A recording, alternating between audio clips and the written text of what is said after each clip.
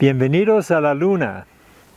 Esta es una zona de ceniza cementada y así comenzó todo.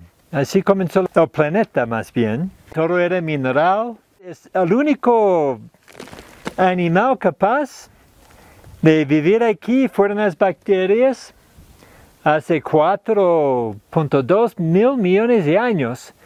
Las bacterias comenzaron a hospedar estas zonas y podían alimentarse de esto.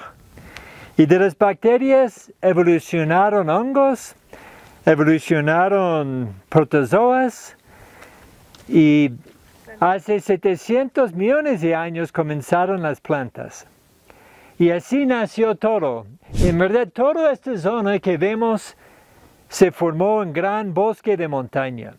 Un bosque muy denso, un bosque nublado, lleno de animales, lleno de raíces. Y debido a la actividad humana, en los últimos eh, dos siglos y medio, se han ido primero terminando con el bosque para mandar carbón a la ciudad de Quito, que queda apenas 40 kilómetros de acá.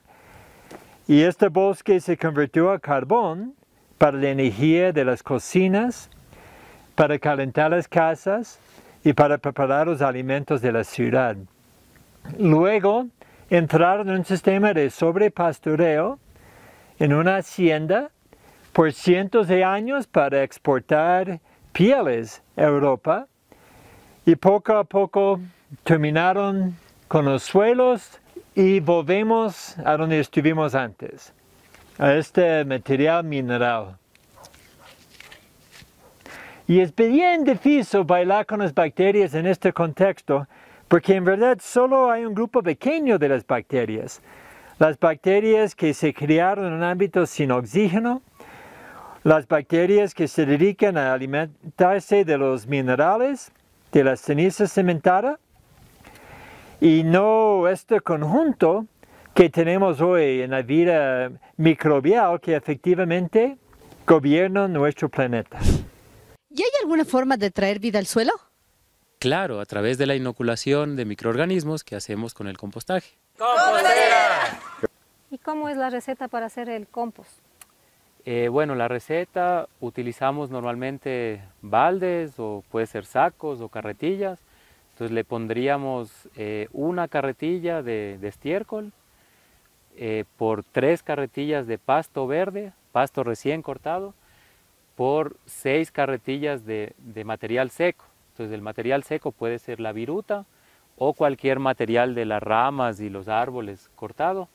Eh, y, para qué sirve este compost? Este compost cuando ya está llevado el proceso que necesita descomponerse, pues nosotros ya le llevamos a las camas para empezar a sembrar. Cuando sembramos, hacemos trasplante, entonces ahí le vamos regando para que vaya la vida al suelo nuevamente. ¿Y solo le ponen en sólido? No, también le preparamos en líquido. Ah, entonces vamos a ver el líquido, cómo le prepara. Ahora vamos a recoger más o menos una pala de este material, de este compost que ya tiene tres meses, ya está maduro. Y vamos a llevarlo al líquido para extraer todos los microorganismos que están acá adentro. En este caso le vamos a llenar la mitad, unos 100 litros, entonces le ponemos el, agua.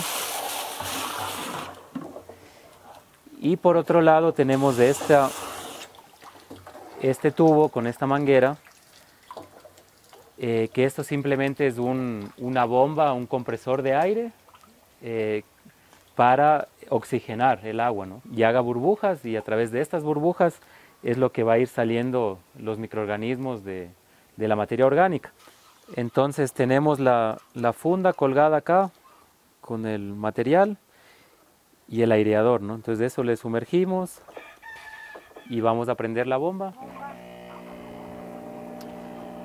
Conectamos la bomba, entonces vemos que empieza a, a burbujear, empiezan las burbujas. Entonces con este movimiento de las burbujas logramos extraer toda la biología que está dentro de este compostaje. ¿no?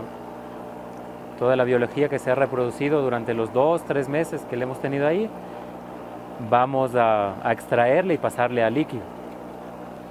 Entonces, y yo le quería preguntarte cómo, cómo le usan eso o cuánto tiempo le dejan ahí. Bueno, después de que está esto dos horas, ahí le tenemos que aplicar.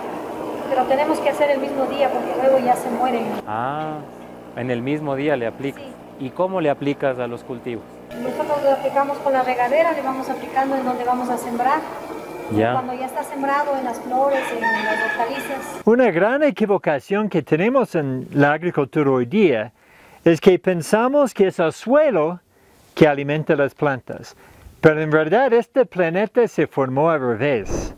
Fueron las plantas que nacieron de los hongos, comenzaron con la capacidad de fotosíntesis, de cosechar la energía solar y traer toda esta energía al suelo para multiplicar los microorganismos que, que podían crear este gran colchón de esponja de suelo que hace posible el oxígeno, que hace posible la vida.